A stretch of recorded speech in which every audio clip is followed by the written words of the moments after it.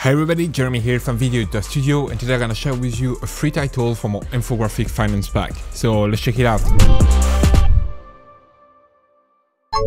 Alright, so you can download this sample by clicking the link in the description below. You'll get this zip file, just double click on it to unzip it. You will get this folder. Uh, in the folder you have a couple of things. You have the license, the instruction, the DRFX file, just double click on it to install it and make sure as well to install the font provided. So here it's the Lato family. You might already have them uh, installed on your computer because uh, I think it's a default font on Windows, but it might not be on Mac. So that's why we've included. Make sure to install that so you'll be be able to see the sample properly. To install it, just select all the font, double click on it and it will start the installation process. And then for the DRFX file, same thing, just double click on it and it will start the installation. It will open a window right here, click install and now it's installed on your computer. Now we're in DaVinci Resolve, we're in the edit page and we can go here in effect, down to title and here we can search for sample and you will get all the sample that you may already have from us plus right here the infographic finance sample. You can then just take it and drag it here in your timeline.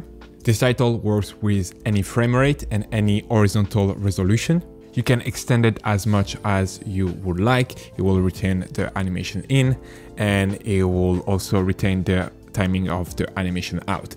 Uh, by default, there is no animation out. Here you can just go in the inspector and select the animation out that you want. So the same one as the animation in, zoom in, zoom out, rise up, sink down, pan left, pan right, and fade out. So right now I'm just gonna select replicate animation in. So it's gonna be the same animation as the animation in, but here as an animation out.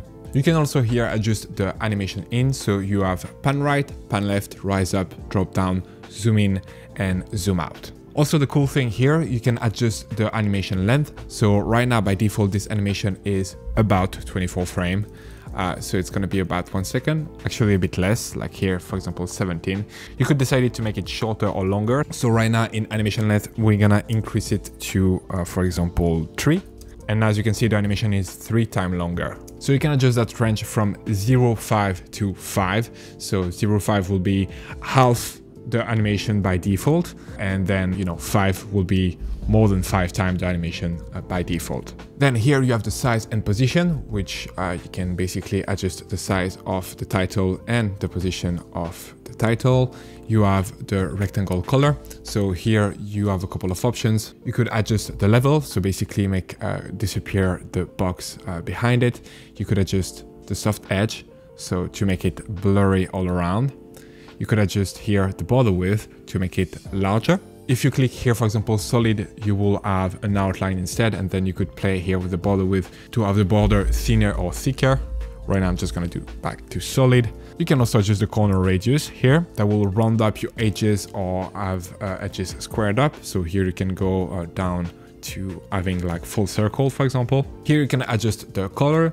Uh, you could also just do a gradient if you want, or just one solid color. So here, for example, we could try to do a gradient uh, and we could try to change those colors here for orange, here purple, then you have text one that you can change here. You have uh, the font, the color, the size tracking, line spacing, and uh, of course the position of the text. You have then text two. Here, same exact same things. In most cases, you will just, you know, have to change the text right here. Arrow control, so here you can choose uh, if you want the arrow to point up or to point down. So here, for example, we could switch it to pointing down and we could make it red to indicate that the stock is going down, for example.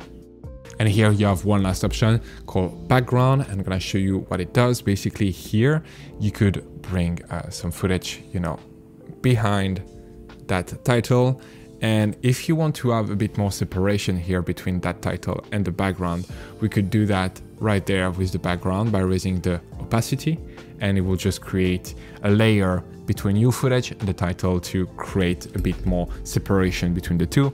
That background is also animated.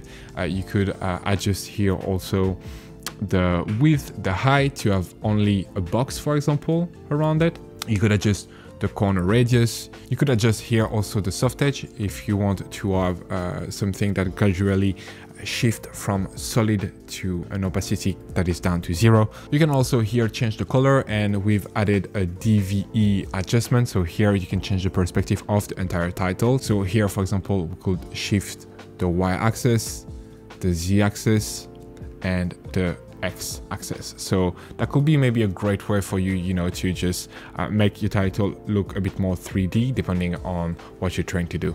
That's everything you can do here in the edit page, but if you need to have more control over things or if you want to add stuff to that composition, you can always just go here and go add stuff directly in Fusion.